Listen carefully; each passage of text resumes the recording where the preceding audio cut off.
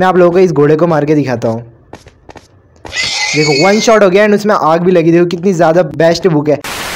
सो ही guys स्वागत है आपका क्रिएटिव आज में। आज हम लोग माइनक्राफ्ट के अंदर गॉड वेपन बनाना सीखने वाले हैं। बेसिकली हम लोग वेपन में बेस्ट इंचानमेंट लगाना सीखने वाले हैं। एंड हम लोग ये भी सीखेंगे कि कौन सी इंचानमेंट से क्या फ़ायदे होते हैं। एंड गाइस आज का शाउट आउट इन लोगों को जाता है जो आप लोगों को अपनी स्क्रीन में दिख रहे हैं। एंड अगर तुम लोग भी शाउट आउट चाहते हो तो इस वीडियो में कमेंट करना, जिसका भी कमेंट मेरे को सबसे ज़्यादा अच्छा लगेगा। नेक्स्ट वीडियो में उसको शाउट आउट मिलेगा। बट वीडियो में जाने से पहले जिसने भी अभी तक लाइक नहीं किया लाइक कर देना। एंड जो भी नहीं जल्दी से सब्सक्राइब भी कर दो यार। तो बिना किसी देरी के, चलते हैं वीडियो की तरफ़। तो गाइस यार, आ गए हैं हम लोग अपने वर्ल्ड के अंदर। एंड गाइज़ तुम लोगों ने आर्मर में इंचानमेंट लगाना तो सीख ही लिया होगा, इसके पहला पार्ट देख के। अगर नहीं देखा है तो मैं उसकी लिंक डिस्क्रिप्शन में दे दूँगा। आप लोग वहाँ से अपना आर्मर को गॉड आर्मर बनाना भी सीख सकते हैं। एंड गाइज़ इस वीडियो का एंड तक दिखना, तभी आप लोगों को पता चल पाएगा कि कौन कौन से इंचानमेंट हमारे टूल्स वगैरह के लिए बेस्ट रहती है। देन कौन कौन से इंचानमेंट से क्या क्या होता है सब मैं इस वीडियो में बताने वाला तो वीडियो को पूरा देखना एंड स्किप मत करना।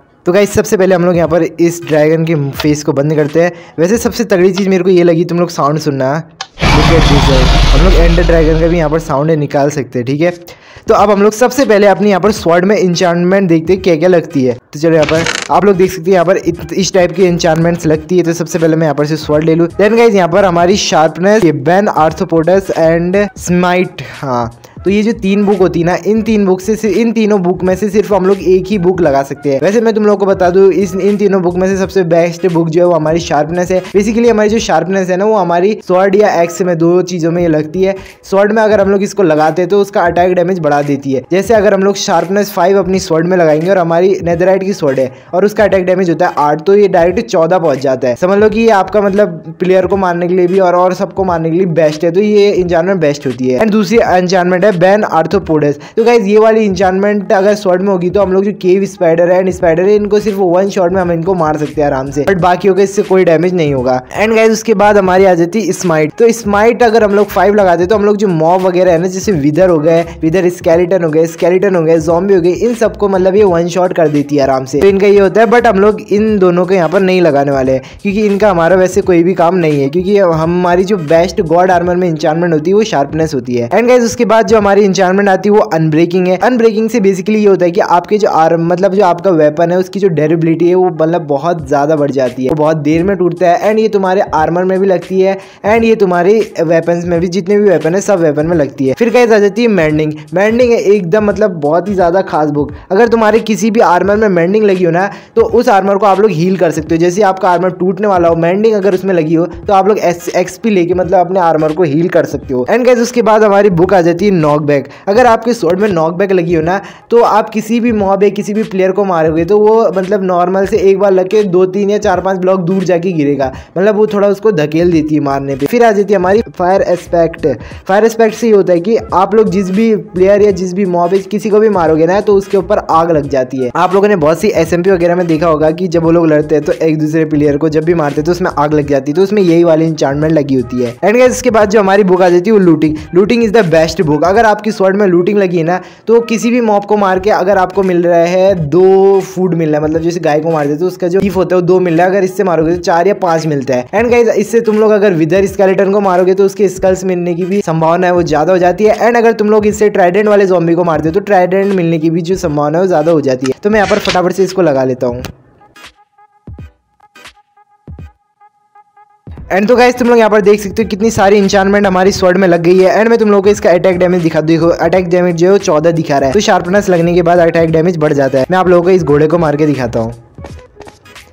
देखो वन शॉट हो गया एंड उसमें आग भी लगी। देखो, कितनी ज़्यादा बेस्ट बुक है। अगर तुम नॉर्मल नेदराइट से घोड़े को मारते हो तो वन शॉट नहीं होता है बट इससे वन शॉट हो गया है। एंड गाइस उसके बाद जो हमारी टूल आ जाता है, वो है हमारा पिकैक्स पिकैक्स में आप लोग की ये इंचानमेंट लगती है तो सबसे पहले मैं यहाँ पिकैक्स ले लूँ। गाइस पिकैक्स में एक इफिशियंसी फाइव लगती है। गाइस अगर पिकैक्स में आपकी इफिशियंसी फाइव लगी हो ना तो आप लोग चुटकियों में इतनी ज़्यादा ब्लॉक से आसानी से खोद दोगे मतलब माइनिंग स्पीड बहुत ज़्यादा हो जाती है। एंड गाइस उसके बाद अनब्रेकिंग जिसका आप लोग को पता है बेंडिंग आप लोगों को मैंने बता दिया एंड आ जाती है guys silk touch and fortune silk silk touch और फॉर्चून में से आप सिर्फ़ एक ही लगा सकते हो। अगर आप अपनी पिकेक्स में सिल्क टच लगाते हो ना तो अगर आप लोग डायमंड माइन करने जाओगे तो आप लोगों को डायमंड नहीं मिलेंगे, उसका पूरा और ही मिल जाएगा बेसिकली जैसे वैसे ही मिल जाएगा। एंड अगर फॉर्चून लगी हो तो आप लोग एक और से आप लोगों को एक ही डायमंड मिलता है। फॉर्चून लगी हो तो ज़्यादातर चांसेस ये होते हैं कि आपको दो या तीन डायमंड मिलते हैं। मैं इसको भी आप लोगों को बाद में लाके दिखाऊँगा। मैं इसमें सिल्क टच अभी नहीं लगा रहा मैं इफिशियंसी लगा रहा हूँ, क्योंकि सिल्क टच हमारी यहाँ पर पिकेक्स से लगी, इसमें लटकी हुई है। मैं आप लोगों को वो जो मैंने अभी प्लेटफॉर्म टाइप के बना रखे ना, ये सब इन्हीं चीज़ों को चेक करने के लिए बनाया जिसको मैं थोड़ी देर में आप लोगों को चेक करके भी दिखाऊँगा। Thank you.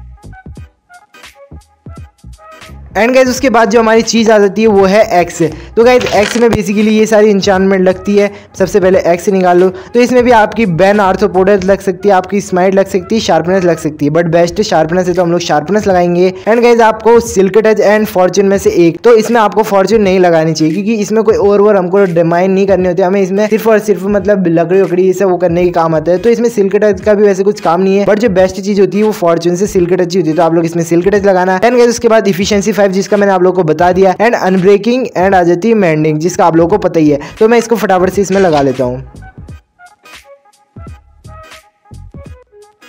तो कैसे यहाँ पर देख सकते हैं हमारी एक्स में भी लग गई है कितनी सारी इंचानमेंट तो अब हमारी बारी आ जाती है यहाँ पर शवल की।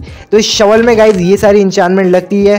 सबसे पहले शवल ले ले। देन इसमें इफिशियंसी फाइव जिसका आप लोगों को पता ही है। अनब्रेकिंग का भी आप लोगों को पता ही है। मैंडिंग का भी मैंने आप लोगों को बता दिया एंड गाइज़ उसके बाद आ जाती है हमारी फॉर्चून एंड सिल्क टच तो शवल में आपकी बेस्ट सिल्क टच ही रहती है, क्योंकि आपको इसमें भी कोई और वगैरह कुछ माइंड नहीं करने होते जो हम लोगों को ज़्यादा मिले। Silk touch is the best तो आप लोगों को सिल्क टच ही लगानी है फॉर्चून शवल में नहीं लगानी। तो मैं इसको भी फटाफट से लगा लेता हूँ। तो गाइज़ उसके बाद जो हमारा वेपन आ जाता है, वो है होए। होए में भी गाइज़ बेसिकली वही इंचानमेंट लगती है जो हमारी शॉल में लगती है। तो आप लोग जैसे शॉल में आप लोगों ने सिल्क टच लगाए तो इसमें आप लोगों को सिल्क टच नहीं लगानी होती है। इसमें आप लोगों को यहाँ पर फॉर्चून लगानी होती है। बेसिकली अगर आप लोग होए से यहाँ पर खेती वेती करते हो, जैसे कि आप लोग यहाँ पर से वीट वीट को खोते हो तो आप लोग को इससे सीड वगैरह ज़्यादा मिलती है या वीट दोनों में से कुछ ना कुछ ज़्यादा मिलता है। तो अभी हम लोग ट्राई करेंगे, फिर पता चल जाएगा। तो मैं सबसे पहले यहाँ पर इसमें इंचार्टमेंट लगा लेता हूँ।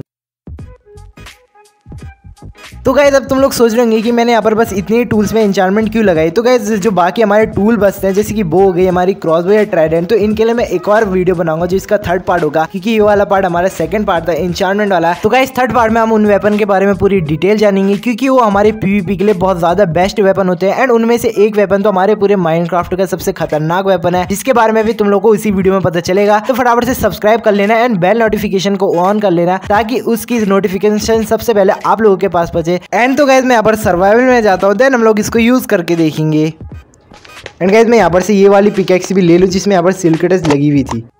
तो हम सबसे पहले हम लोग यहाँ पर और माइन करके देखेंगे। तो यहाँ मैंने मे भी शायद आठ और लगाए तो सबसे पहले मैं सिल्कटस से माइन करता हूँ। तुम लोग देख सकते हो सिल्कटस से माइन करने में हम लोग को डायरेक्ट डायमंड को और मिल रहे हैं। तो यहाँ पर इसको फटाफट से पूरा माइन करते हैं। एंड तुम लोग देखो कितनी जल्दी जल्दी यहाँ पर ये माइन कर रहा है। इफिशियंसी लगने की वजह से। तो तुम लोग यहाँ पर देख सकते हो, यहाँ पर आठ हो रहा है। तो अब हम लोग यहाँ पर इसको फॉर्चून वाली से देखेंगे। लुक एट दिस गाइस मेरे को आठ मिलने चाहिए थे अगर यहाँ नॉर्मल पिकेक्स होती। मेरे को कितने मिले? यहाँ पर अट्ठारह डायमंड तो तुम लोग देख सकते हो फॉर्चून के कितने ज़्यादा अच्छे यूज़ है। एंड गाइज़ उसके बाद हम लोग यहाँ पर अपनी एक्स को चेक करेंगे। सबसे पहले मैं यहाँ पर एक और नॉर्मल एक्स ले लूँ, फिर हम लोग इफिशियंसी वाली से चेक करेंगे। तो मैंने यहाँ पर जो एक्स लगाई थी, उसमें अनब्रेकिंग थी तो इसका मतलब नॉर्मली जैसी तो इससे हम लोग यहाँ पर चेक करते हैं। सबसे पहले नॉर्मल से हम लोग चेक करेंगे। तो हम लोग देख सकते हो, यहाँ पर ये तोड़ तो रही है बट उतना फास्ट नहीं तोड़ी है। तो अब हम लोग यहाँ पर इफिशियंसी लगी वाली एक्स देखेंगे। गाइज़ देख सकते हो कितनी ज़्यादा जल्दी यहाँ पर ये माइन कर रही है। तो इफिशियंसी के यही फ़ायदे होते हैं। तो गाइज़ अब हम लोग अपने यहाँ पर शवल को चेक करेंगे। मैं यहाँ पर एक नॉर्मल शवल ले लेता हूँ, जो कि मैंने वहाँ पर लगाई है। उसमें भी खाली सिर्फ़ और सिर्फ़ अनब्रेकिंग लगी है, बाकी कुछ नहीं लगी है। तो इस वाली शवल से हम लोग सबसे पहले यहाँ पर डिग करेंगे। तो गाइस देख सकते हैं, ये वाली शवल हमारी तेज तो खोद रही है बट उतना तेज नहीं खोद रही है एंड ये हम लोग को डर दे रही है। हम लोग को ग्रास ब्लॉक नहीं दे रही। तो अब हम लोग सिल्क टच विद इफिशियंसी वाले से खोदेंगे। तुम लोग देख सकते हो कितनी ज़्यादा फास्ट डिग करी है एंड दूसरी बात, इसने हम लोग को यहाँ पर ग्रास ब्लॉक दिए हैं। तो अब हम लोग यहाँ पर अपनी होए को चेक करते हैं। तो गाइज़ अगर हम लोग इस वाली होए से यहाँ पर माइन करेंगे, या तो हम लोग को ज़्यादा सीड देगी, या तो वीट देगी। यहाँ पर देख के तो ऐसा लग रहा है हम लोग यहाँ पर सीड ज़्यादा मिलने वाली है। अभी थोड़ी देर में हम लोग को पता चली जाएगा, हम लोग को क्या ज़्यादा देती है। तो कैसे हम लोग चेक करते हैं लुक एट दिस तो यहाँ पर ही हम लोग को सीट ज़्यादा देती है. वीट तो हम लोग को इसने सोलह ही दी है बट इसने हम लोग को सीट जो है फिफ्टी वन दी है फॉर्चून लगाने की वजह से. अगर हम लोग इसे नॉर्मली लेते तो हम लोग यहाँ पर थर्टी तक मिल सकती थी बट इसमें फॉर्चून लगी है, जिस वजह से इसमें हम लोगों को फिफ्टी मिली.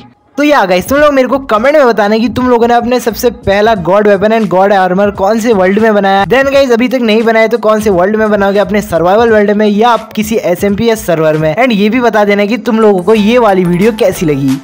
गाइज़ यार, आज के लिए बस इतना ही। आई होप आप लोगों को वीडियो अच्छी लगी होगी। अच्छी लगी तो वीडियो को लाइक कर देना एंड चैनल को सब्सक्राइब करके बेल आइकन भी प्रेस कर देना। एंड गाइज़ तुम लोग मेरे को इंस्टाग्राम में भी फॉलो कर सकते हो। डिस्क्रिप्शन एंड पिन कमेंट में लिंक है। जल्दी से फॉलो कर दो यार। मिलते हैं आपसे नेक्स्ट वीडियो में। तब तक के लिए बाय बाय